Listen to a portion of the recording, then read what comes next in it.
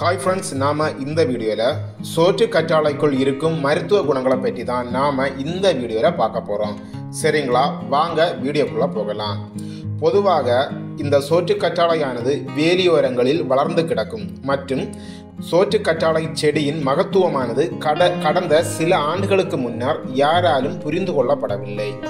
ஆனால் சமீபகாலமாக அதில் இருக்கும் மருத்துவ குணங்களை அறிந்த பலர் அதனை தங்கள் வீட்டிலேயே வளர்க்க துவங்கிவிட்டனர். அப்படி என்னென்ன மருத்துவ குணங்கள் சோற்று கற்றாழை செடியில் இருக்கு என்பதை நாம் விரிவாக பார்க்கலாம். முதலாவதாக வயதானவர்களுக்கு முட்டு தேய்மானத்தினால் வலியானது அவர்களுக்கு ஏற்படுகிறது. இந்த பிரச்சனை உள்ளவர்கள் தினசரி சோற்று கற்றாழை ஜூஸ் குடித்து வந்தால் இந்த பிரச்சனைக்கு தீர்வு காணலாம்.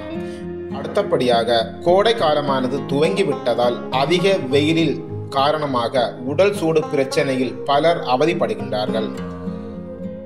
இவர்கள் சோற்று கற்றாழை ஜூஸ் அருந்தி வந்தால் அல்லது சோற்று கற்றாழை சாற்றை தலையில் தேய்த்து காய வைத்து பின்னர் குளித்தாலே உடல் சூடானது தனியும் அடுத்தபடியாக முடி உதிர்தல் பிரச்சனை உள்ளவர்களுக்கு சோற்று கற்றாழை சிறந்த ஒரு மருந்தாகும்.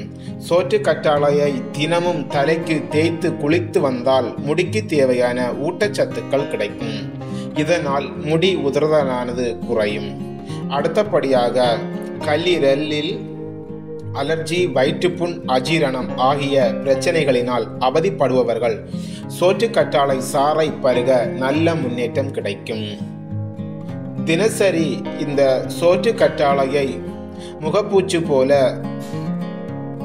முகத்தில் தடவி காய வைத்து பின்னர் குளித்து வர முகமானது பொலிவு பெறுவதை நாம் பார்க்க முடியும்.